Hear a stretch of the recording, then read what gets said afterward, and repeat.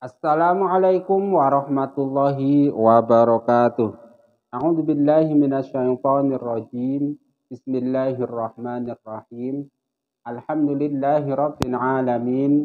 Allahumma salli wa sallim ala sayyidina Muhammad wa ala ali sayyidina Muhammad. Amma ba'du.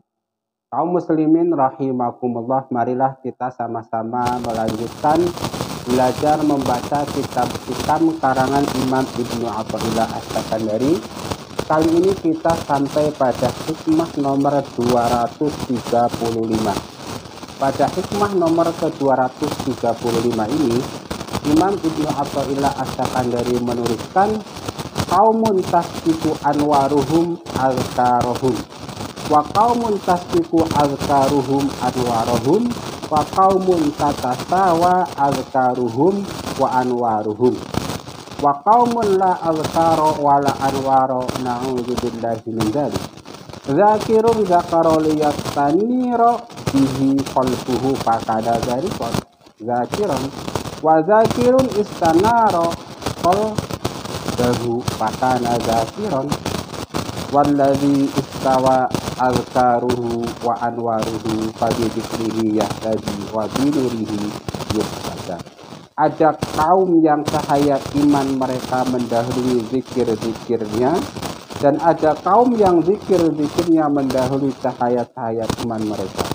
Ada kaum lagi yang berbarengan zikir dan cahaya iman mereka dan ada kaum yang tidak ada zikir dan tidak ada cahaya kami berlindung kepada Allah dari golongan itu.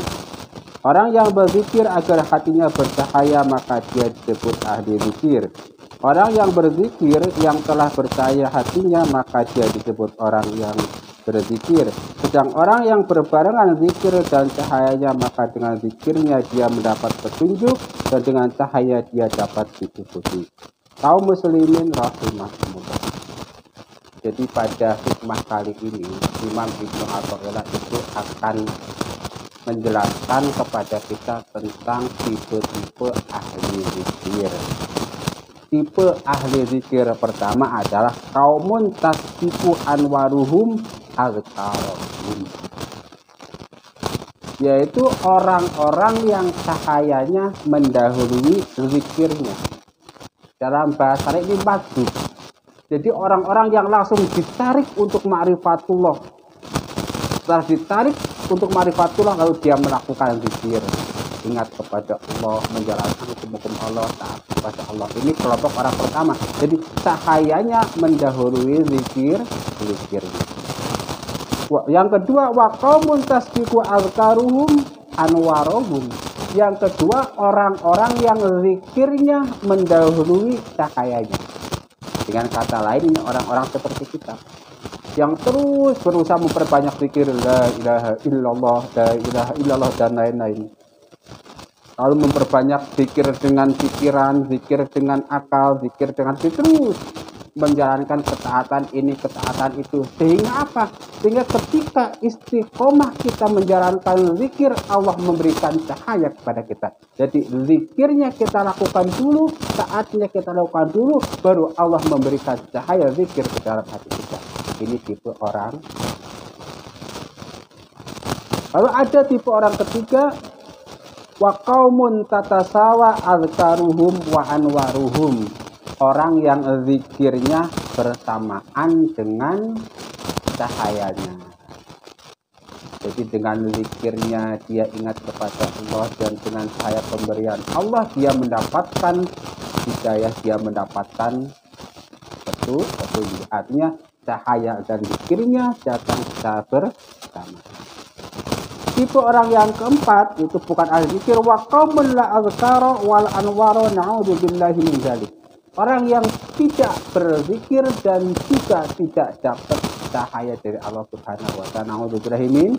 Dia secara lahir dia nggak pernah melakukan zikir, nggak melafalkan kalimat-kalimat thayyibah maupun memikirkan tentang makhluk-makhluk Allah supaya kita sampai kepada Allah.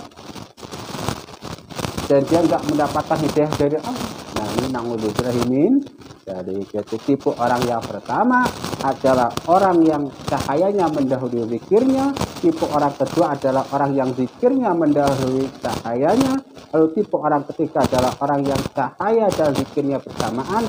Lalu tipe yang keempat orang yang tidak punya zikir dan tidak punya cahaya namun min dari Zakirun zakarol yastanira bihi qalbu fakana zakirah. Lalu ada orang ahli zikir yang berzikir supaya hatinya dapat jadi kalau hati kita pengen dapat cahaya, hati kita kepengen terang, hati kita pengen tenang, lakukan zikir. La ilaha illallah, la ilaha illallah terus menerus. Sehingga apa? Hati kita mulai ketenangan. Orang yang seperti itu juga disebut ahli zikir.